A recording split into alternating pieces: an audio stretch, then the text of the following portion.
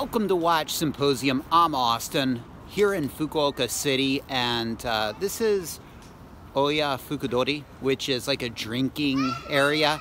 And I'm at a park right now, and I just uh, stopped by to make this little intro. And wow, it's filthy here. I mean, it's like uh, seems like a Sunday morning or something after you know a night of partying, and you go to the uh, park, and and you can see that people have been drinking there all night and littering and it's rough looking. It's the middle of the week here. There's some good citizens and looks like family members are cleaning up a bit, but uh, a lot of the bars that I used to frequent are gone. I don't know what happened to them, foreign owned bars, but uh, rough, rough. Uh, a lot of drinking, a lot of partying in this in the city, perhaps all night in the park and the park looks worse for wear for it. But we're here to talk watches. Let's see what they've got.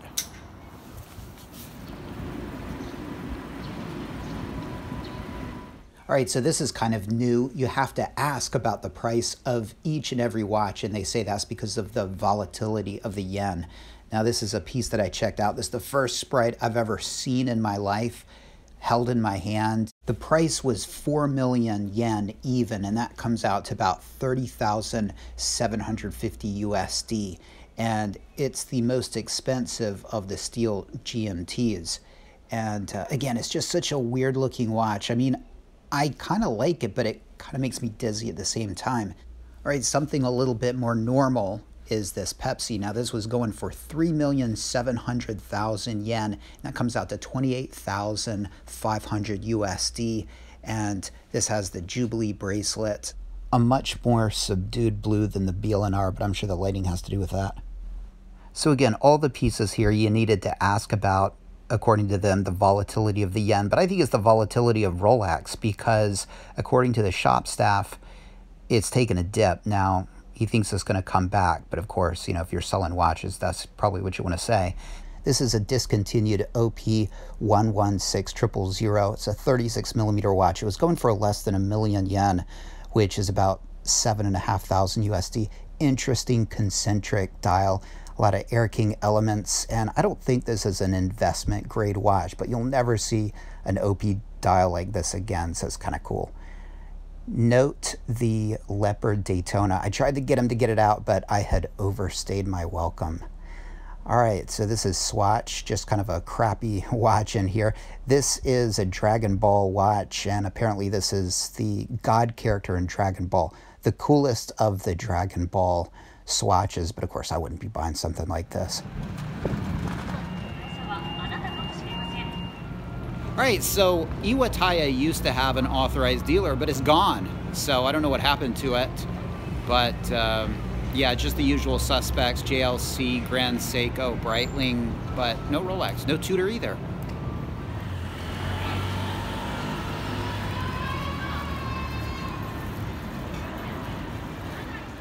A 36 millimeter two tone turnograph. Now, the red prices without tax, tourists don't have to pay tax. That's under 5,000 USD for a two-tone 36 millimeter Datejust. Pretty amazing. For about 380 USD more, you could go for this two-tone 36 millimeter Datejust with the diamonds on the dial. That's a pretty fancy watch for such a low price. None of these watches have box and papers. This is an Oyster Quartz two-tone. That's really cheap. I mean, if you just want to get a Rolex on your wrist and you're not worried about box and papers, uh, this is more my kind of style steel. Tourists would pay just over 3,000 USD. It's a really kind of an interesting watch. And um, yep, camera issues. I got to get another phone. Here's another Cellini. Now, this is not as nice as the Cellini I looked at in the previous video. Link in the description. Uh, but it's a Cellini. We get to the watches you've been waiting for, the steel sports watches. This is a 40 millimeter GMT Master 2 16710. You can see it's got the tritium dial, holes case, hollow link bracelet, paper papers, full set uh, much more expensive than those turnographs and date Datejusts, that's for sure. A full set 42 millimeter Explorer 2. Notice the price down, along with those ask tags at the other shop. I think this is a sign prices are faltering on the gray market in Japan. A pre ceramic sea dweller box only. This is an A serial, and being an A serial, it's got the Swiss only dial. And you guys don't have a penchant for those. Will they go up in the future? Will they become collectible? I don't know. But you can see this has the original bezel insert and it's ticking, so somebody's been looking at it. But I would be holding out for a full set. Now, is this a full set? Almost, but not quite. All right, so it's got the box, it's got the paper papers that's under the cushion. You can't see those, but it's there and it's got a guarantee card from a recent service at RSC, but it doesn't have the goodies. It's missing a lot of stuff. And we'll focus on this piece in the future because it's a cautionary tale of shopping on the gray market in Japan. We'll come back to it, so just hang tight. Bluesies, pre-ceramic bluesies, box and papers. I love the gold writing. I love the pre-ceramic bezel inserts. That is just such a beautiful look and it matches the dial. I really think these are the best bluesies out there. But of course, they're dated. A lot of people probably want the newest and the greatest, but I think this is what I would be buying. But it's not my kind of watch. It's just way too flashy for me, but I really respect this. And, you know, this is a great price for a couple of full set pieces.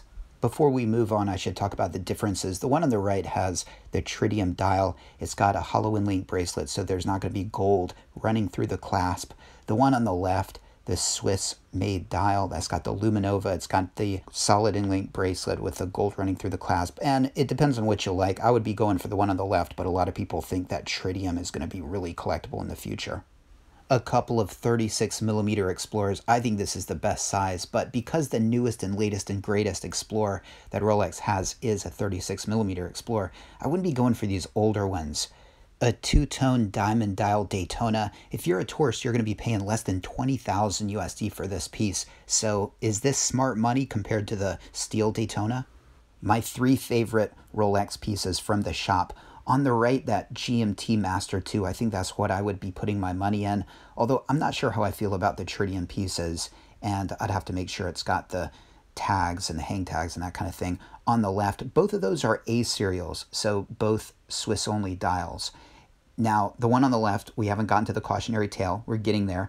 But before we do, some bargain basement Omegas like this GMT Function dive watch. And check out the price. I'll let you do the conversion. But not very much money. This is a very inexpensive way to get yourself into a good quality timepiece. Now, as far as the wave pattern on the dial, it's a bit much for me, especially under this lighting, but a lot of people like it, and this is for sure a quality timepiece, as are these. So there are options out there if you're not all hung up on that Rolex name, but of course we are. That's why I exist, right?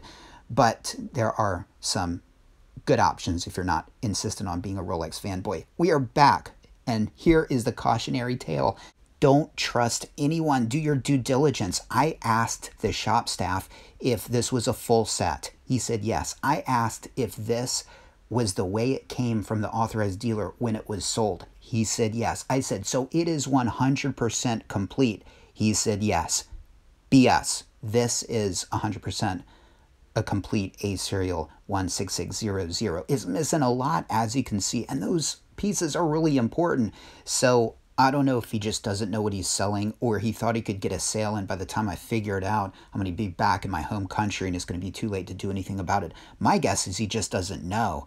Um, but this is more expensive than I paid for my full set. So be careful of who you trust. And it might be because they're just ignorant of the way the watch is supposed to come or they're trying to get that sale. But be careful out there. All right, cautionary tale finished. Let me know what you thought about these pieces. Thank you for watching. Take care, and I'll see you next time.